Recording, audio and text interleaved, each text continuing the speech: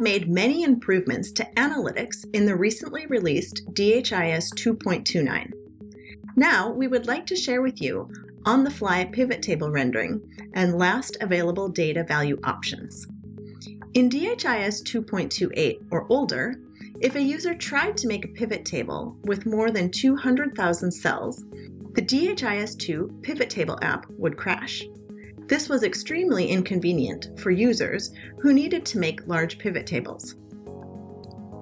Now, in 2.29, pivot tables have progressive rendering. This means that if a large pivot table is made, instead of trying to load the whole thing at one time, DHIS2 will only load what the user is able to view in their web browser. Let's look at an example. Here in DHIS 2.29, we open the Pivot Table app and make a pivot table with all of the data elements from the ANC and delivery data element groups.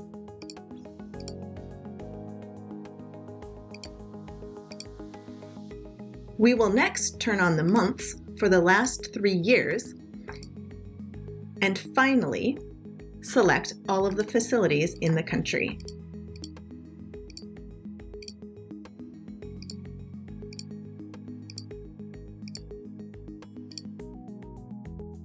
First, we see that DHIS2 makes an aggregated table summing up all of the organizational units together.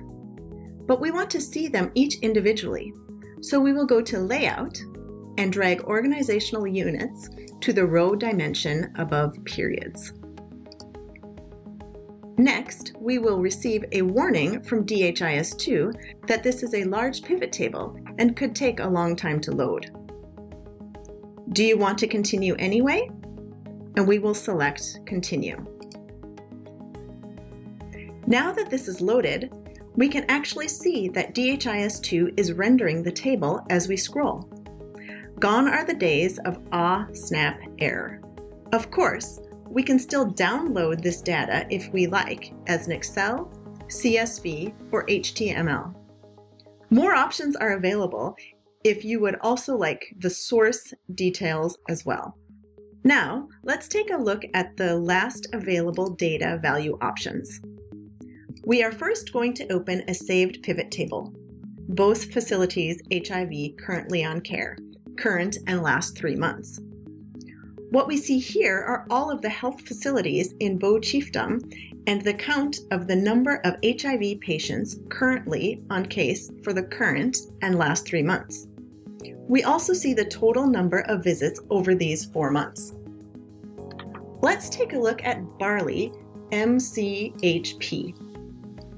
Notice that the total for these four months is 282 for barley MCHP, but they have not reported yet any values for this month, May 2018. The last value that they reported was 95 in April.